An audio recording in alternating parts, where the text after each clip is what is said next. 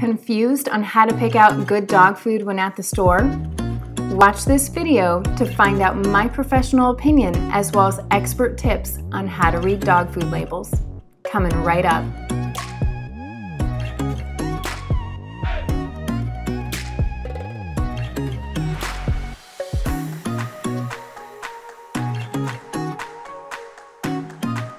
For the best pet related information, subscribe to my channel and make sure you hit that bell to be notified every time I post a new video.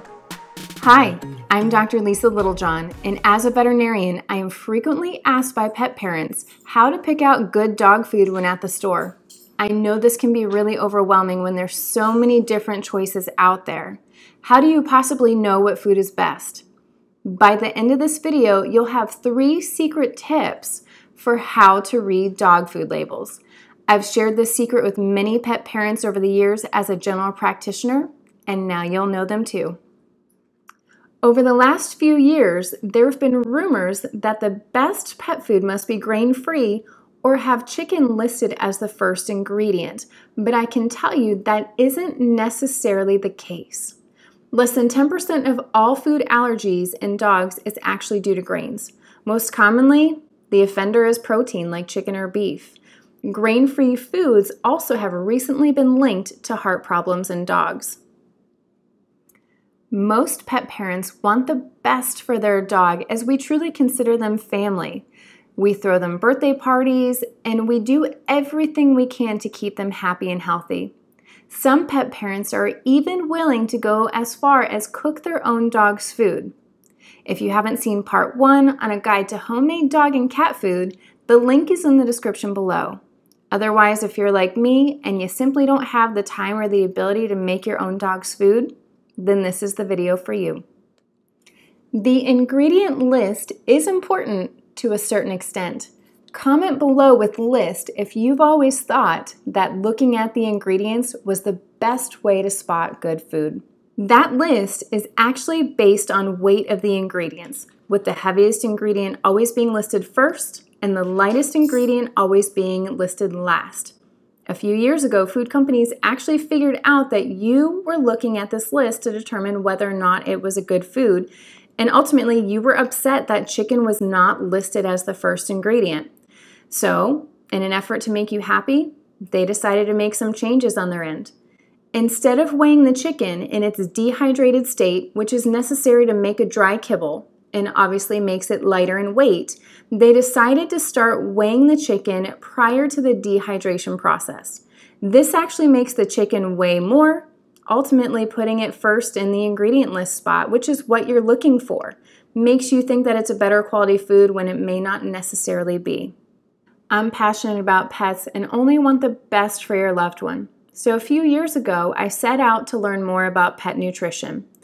In short, the easiest way for you to determine good dog food by reading the label can be accomplished in three secret tips. Tip number one look for the AAFCO statement. AAFCO stands for the Association of American Feed Control Officials, and they set forth nutrient requirements and ingredient standards for pet food. Their statement is essentially a nutritional claim that indicates that the food is complete and for a particular life stage. The AAFCO statement is found in various locations on the bag, though most commonly you can find it near the ingredient list. Tip number two look for the words tested. In my opinion, for the best food, the AAFCO statement should mention the word tested or using animal feeding tests. This means that the recipe has gone through a food trial and there aren't any contaminants in it like salmonella. Tip number three look for the life stage. The second thing to look for in the AAFCO statement is the life stage.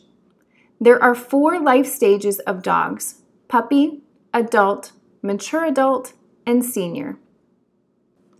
If it says all life stages, that is actually code for puppy food, as this is the most demanding life stage when it comes to nutritional requirements.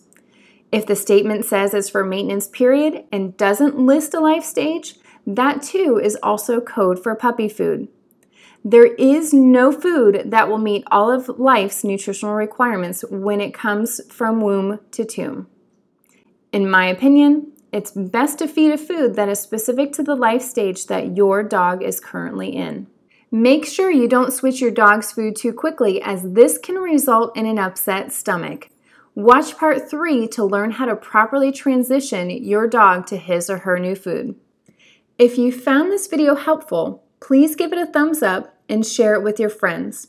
Comment below with what you found most helpful, and don't forget to subscribe and click the bell so you'll be notified anytime I upload a new video. If you want to join me on Facebook for more helpful tips and tricks, make sure to connect with me there. Thanks for watching, and I look forward to seeing you in the next video.